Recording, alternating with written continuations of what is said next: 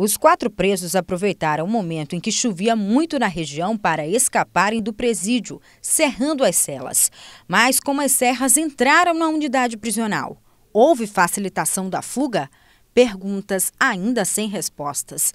Segundo a Secretaria de Justiça e Administração Penitenciária, outros cinco presos tentaram fugir, mas foram contidos pelos agentes. Esta foi a terceira fuga registrada este ano nos presídios do estado. Os números do ano passado impressionam. Foram 40 registros. Destes, 130 presos fugiram.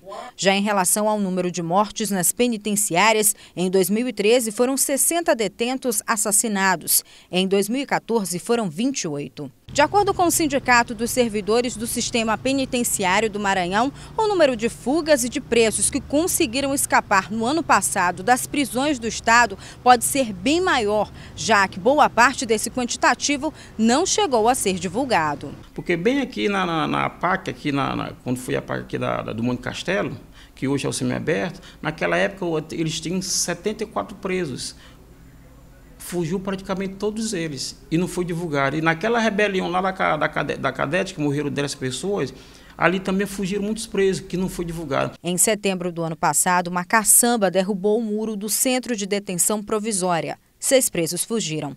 No mesmo mês, a crise do sistema penitenciário do estado resultou em mais uma fuga em massa. 13 detentos escaparam.